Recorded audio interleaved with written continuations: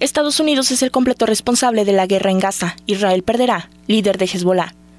El líder del grupo islamita Hezbollah, Hassan Nasrallah, dijo en un mensaje televisado que Estados Unidos es el completo responsable de la guerra de Gaza, llamando al conflicto entre el grupo islamita Hamas y el Estado de Israel como una guerra santa, y destacó que la necesidad y la rapidez del apoyo y aceptación de Washington expusieron la debilidad y el fracaso del primer ministro Benjamin Netanyahu, si queremos buscar una batalla con total legitimidad, no hay batalla como la lucha contra los sionistas de Israel. El objetivo israelí de eliminar a Hamas es inalcanzable. Israel no ha logrado nada en Gaza después de un mes de violentas incursiones. Esta es una batalla entre la humanidad y la barbarie representada por Estados Unidos, Israel y el Reino Unido, afirmó el líder de Hezbollah. La batalla terminará con la victoria de Gaza y la derrota de Israel. Nasrallah destacó que la decisión de lanzar la operación contra Israel fue 100% palestina y que sus líderes se la ocultaron a todos, afirmando que la operación no molestó a nadie en el eje de la resistencia islámica y aclaró que Irán respalda y apoya a los movimientos de resistencia en el Líbano y Palestina, pero no impone sus decisiones a estos grupos. Aseguró que Hezbollah se unió a la guerra contra Israel desde el 8 de octubre, el día después del ataque contra Israel. Los felicitamos por mantenerlo en secreto, y esto no afectó nuestra toma de decisiones,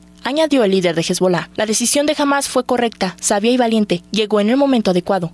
Aseguró que el despliegue de fuerzas estadounidenses en la región de Medio Oriente es una señal de la debilidad de Israel y que Estados Unidos ha cometido los crímenes más importantes de este siglo y del último. Pidió a los países árabes detener las exportaciones de petróleo y alimentos a Israel, así como cortar relaciones diplomáticas y comerciales.